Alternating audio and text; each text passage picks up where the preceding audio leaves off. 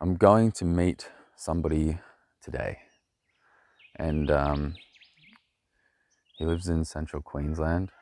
And he's into extraterrestrial stuff, so it'll be really interesting. I've chatted to him a little bit online. We did like a live stream on Instagram um, where he really put me on the spot with some of his questions because like I don't really talk about this stuff on purpose, like intentionally, because it's like a whole rabbit hole. And I run like a mental health channel and I don't want to like send people like off on like a 10 year long journey of like looking for aliens and shit like when they're already like trying to deal with psychiatrists shoving medication down their throat you know so yeah i i believe there's like more to reality obviously obviously i believe that. You know that at this point. We're multidimensional beings living in a multidimensional world. I work in like a way that acknowledges all of it. And that's like part of the beauty of um, what we do.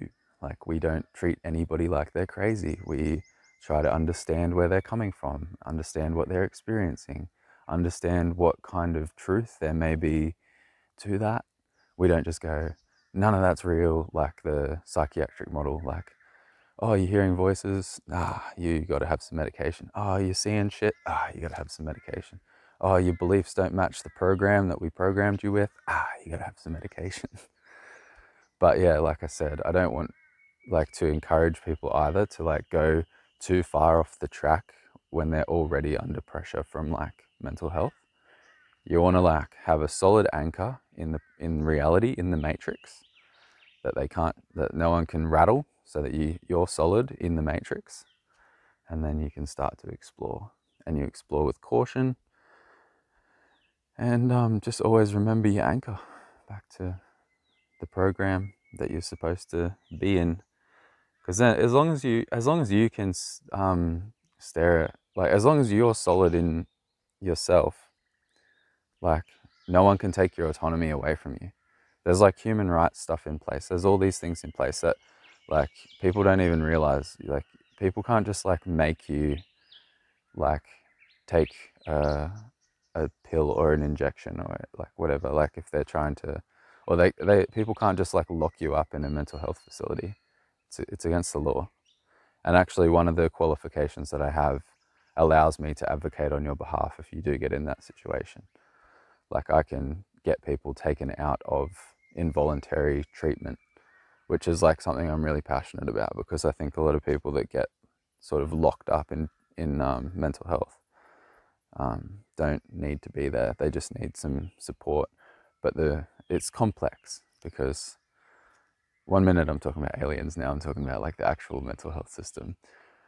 Anybody who's like taken seriously in the mental health world is not going to take Ky seriously. but anyway, yeah, the complexity is like a lot of people who end up trapped in the mental health on the mental health treadmill in the mental health system. It's because they don't have support. They don't have anywhere else to be. Um, their family or their yeah, usually the family like they don't know what else to do, so they kind of just um, yeah, give over like control to an organization uh, who then like calls the shots. And quite often, the individual who is you, if you're the person that's gone through that, is like your needs and desires are forgotten because you're um, you have a disorder or you're broken in some way, and now people are trying to fix you. When yeah, I find like find it so absurd. I imagine there's people that like really benefit from that kind of intervention, like heaps all the time. Um, but I don't think that those kind of people would be here listening to this kind of journal. And I've got um, really cool interviews on my main channel. There's like one particular one um, called I don't know. It's got predisposition to schizophrenia in the title, and it's a fella who's been in and out of drug detox and like mental health facilities over and over again until he just decided that he was going to manage it himself and he was he was just going to take it so seriously. Like because he understood himself. He understood why he kept getting triggered into psychosis. Um, but like he just kept allowing himself to get into those spaces and then lose his autonomy and then everybody's telling him what to do so um, yeah he, he took control of his life and you can do that like to be fair like some people maybe they feel like they can't or they maybe i'll, I'll say they can't like they are like so um, so lost in the psychosis and the the confusion and they've gone down so many different rabbit holes and they've just lost they've lost their anchor um, but there's still hope for everybody. I believe that. And I would say to anybody who feels like they've fully just lost it, um, go to holographic kinetics. Just go straight there, just like. And that's the best thing about holographic kinetics. Not only does it acknowledge like everything, like, and and like nothing is too crazy in holographic kinetics there's they also know how to deal with it. They know how to change it. They know how to like get results. Like they know how to make you understand what's going on inside of you. Like there's a whole process. But like yeah, if you feel like you're so lost that nothing is ever going to work, just go straight there. If like for most most people should just go straight there. It's such a powerful modality. Um, it's what I use on myself it's what like I've had like uh, hundreds of hours of holographic kinetics um, before I made all these changes. Like before, yeah, everything started to shift really rapidly, which you know for me it was like really intense, and I'm like fuck, fuck, fuck, fuck, fuck.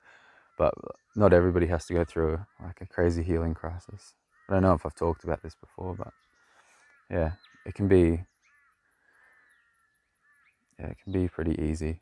it can, like some people just go, oh, that's what's inside of me. That's what's going to happen, and they just like get off. I, I, it's hard to talk about without explaining everything. I don't want to explain anything right now. I just want to come back to what I'm thinking and feeling in the present moment. It always makes me feel fucking weird when I talk about weird shit like but it's like the most important shit to talk about because it's like what nobody else is going to ever acknowledge or talk about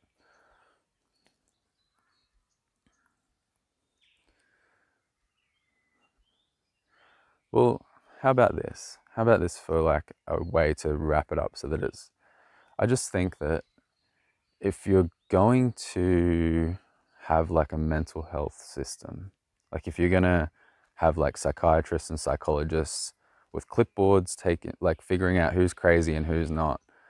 Like even if none of the far out stuff is real, even if like magic isn't real, um, like aliens aren't real, like extraterrestrials, UFOs, even if spirits aren't real, even if like entities and interdimensional interference isn't real, even if like everything in the invisible world is actually not real, which is absurd because like as they always say in holographic kinetics, hand me a thought.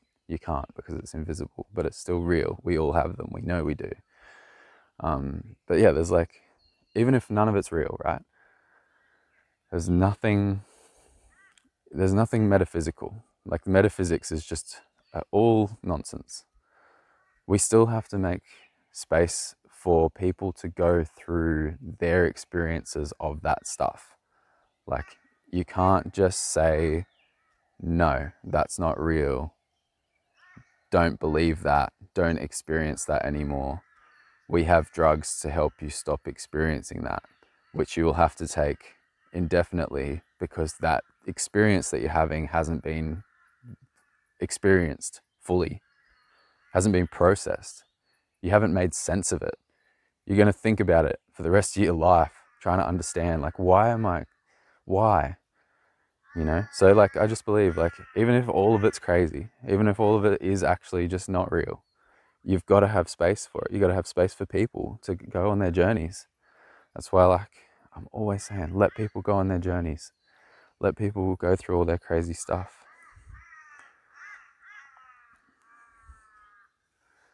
Because you're not gonna you're not gonna stop this from happening. You're not gonna stop people from exploring. It's always going to happen. People are always going to want to see what else is there to reality, what else is there to life.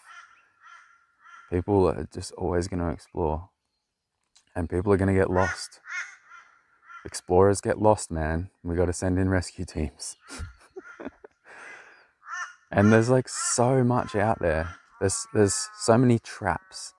There's so many people trying to exploit the explorers setting up these traps. Like the whole new age world is full of traps. It's full of like really deceitful, manipulative people that are just trying to like, yeah, profit from your insanity, basically. And, and the funny thing about that world is like everybody thinks they've got it all figured out. Like the people that are being exploited, like think that they're like they've got it all figured out and their lives are really great maybe I'm like that. Maybe I, maybe I've I'm an explorer who's lost and I'm being exploited. Could be. But you know what? I've got to go on my journey. I've got to go through this. If somebody just takes me out of it right now and puts me on a medication, sits me in a fucking nice white room, nah, that's my worst fear. But like, yeah, you know, like I go back to just like a really normal reality and I like kind of get forced to go there, I'll be like, well, what was going to happen if I kept going, if I kept exploring, if I like kept looking into all the things that I was looking into? It's kind of like a bit of a another one of those things though, like it's a privilege to be able to explore. It's a privilege to be able to question. It's a privilege to be able to have the freedom to like go insane like and to like to go off the path completely and just like ask all the questions that you want to ask. And like not not everybody has that. And that's sort of what i'm pretty passionate about you know? That's why like i want people to feel i want people to have the freedom to to explore without getting like yeah forced into any any kind of program or yeah. it's funny.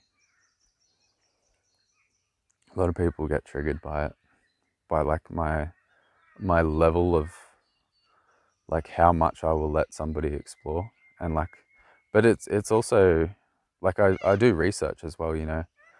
I've watched all the TED Talks, read all the books, lectures, read research papers, like and um like the, my approach to mental health is based on like everything. It's it's it's not just lived experience. It's not just my own crazy ideas. Like I, I've done the study as well, and I understand that you don't just tell somebody who's in an altered state or in psychosis or like having a really like distorted view of the world. You you don't just go up to them and tell them they're wrong.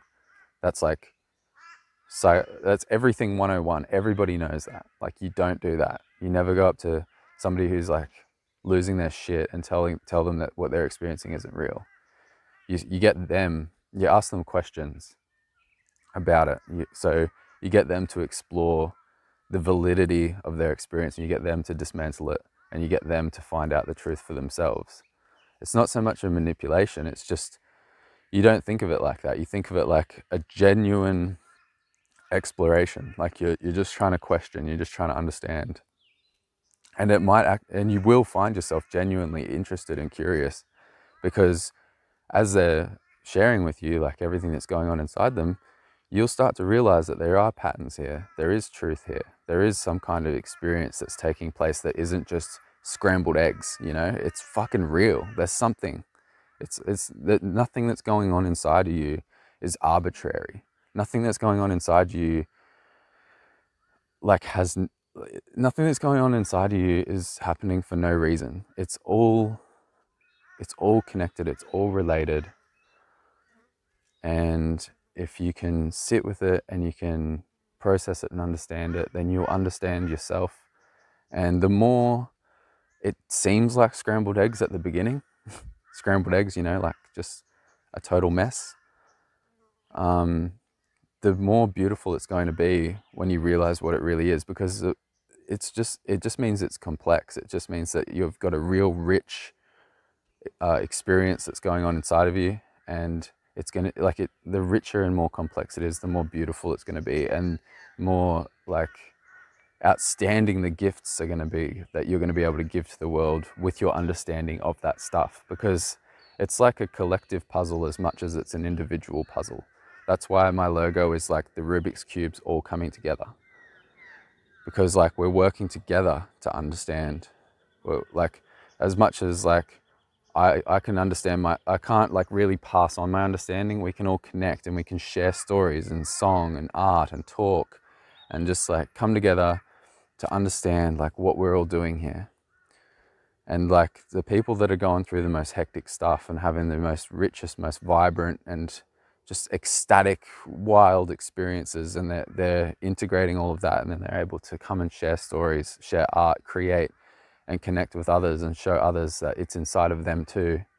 Like that's what's going to help like evolve like the collective like just having all those unique perspectives. Instead of this like trying to like homogenize everybody make everybody the same and similar squeeze them all through the same hole like so they all they all match that's not evolution that's what's making us sick that's what's making us, that's what's stopping us from growing because we're too afraid to ask the questions. We're too afraid to look where we're not supposed to look. We're too afraid that we're going to be crazy and we're going to be ostracized from our community, locked up in a white padded room and force fed medication.